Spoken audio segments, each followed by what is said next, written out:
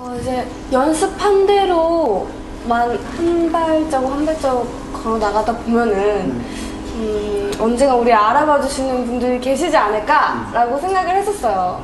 근데 아직도 한참 부족해요. 그래요, 그래요.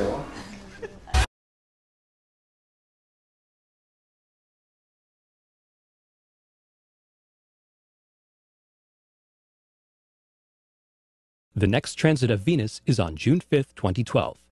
And for the first time since the 19th century, the event will be visible across all of North America. The nearly seven hour transit begins at 3.09 p.m. Pacific Daylight Time. Observers on seven continents, even a sliver of Antarctica, will be able to see it. Across the United States, the transit is at its best around sunset, a rare photo op for creative photographers. Observing tip do not stare at the sun. Venus covers too little of the solar disk to block the blinding glare. Instead, use some type of protection technique or solar filter. A number 14 welder's glass is a good choice.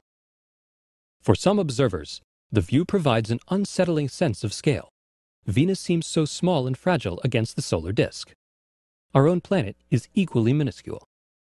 Others say it looks like a black hole punched in the surface of the sun. Very strange. 아, 어, 잘 가. 저는 설마 했겠지만 설리라고 해요.